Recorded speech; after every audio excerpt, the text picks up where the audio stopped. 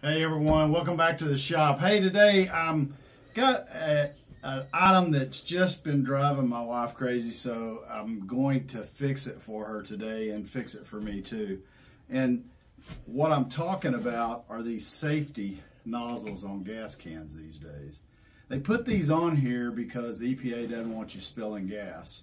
However, some of the old designs were just as good. They have caps on them and, and they're just as safe and, and they don't spill gas either. Um, these are spring loaded, so they're really difficult. You have to kind of push and, and hold at the same time with your hand. And if you're trying to lift a heavy gas can and pour it in a in a, a gas tank on a mower, it, you know, you has a tendency to spill all over you and not much of it get into the lawnmower.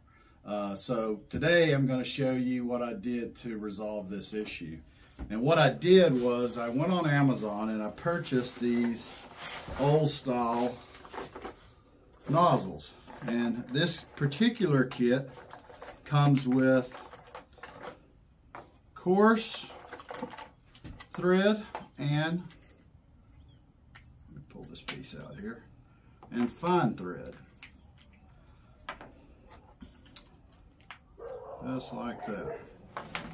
I'm to kind of lay these things, everything that came with the kit. You get three nozzles. So if you had three gas cans, you'd have enough to do all three.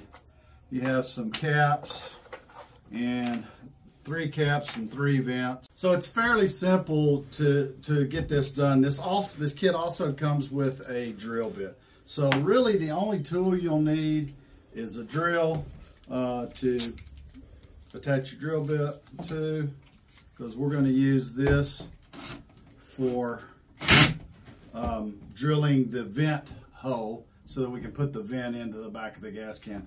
And as you can see, there's no vent back here, okay? And I think that's also one of the reasons it makes these so difficult to use is because there is not a vent uh, to allow the gas to flow more easily. So here's what we're gonna do. So we're gonna take this nozzle off and uh, I can tell by looking at the threads that it's a coarse thread. This is really pretty simple. Slide that through. You can see it has a gasket there. attach it. So we're going to attach the nozzle here, and as you can see, it's threaded here on the top too. This kit comes with some uh, little rubber washers, and uh, what they're for is to put inside the cap here. So just, oh, that one's a little small, need the bigger one. Drop it in, and you can see you just thread it on there tight, and you can see no gas comes out. Isn't that a miracle? So the last thing that you need to do is you got to install these little vents, and they're super easy. All there is to it, just take the drill, pick you a spot like right above where the level would be. Drill you a little hole. You can see it's got a little tip here on the end. You just push it in your thumb. It's a little difficult because you want it to be tight. There it is. Pop the cap on it. No gas comes out there either. Guess what? That's all there is to it. Now I'm going to do it on my five gallon too, but that, that solves the problem. So now when you need to pour gas, you can just take the lid off. And the one thing I like about this one versus this one, this is fixed, so you can't bend it. This one, you can bend.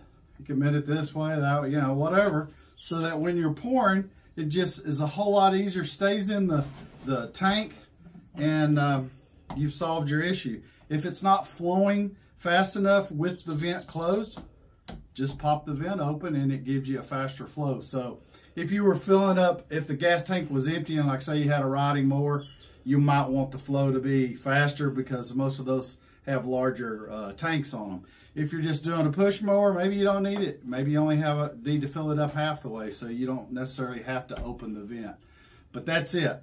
Okay, so I'm going to put a link in the description below just in case if you're interested in anything like that, you can just follow the link and it'll take you uh, to where I purchased it from.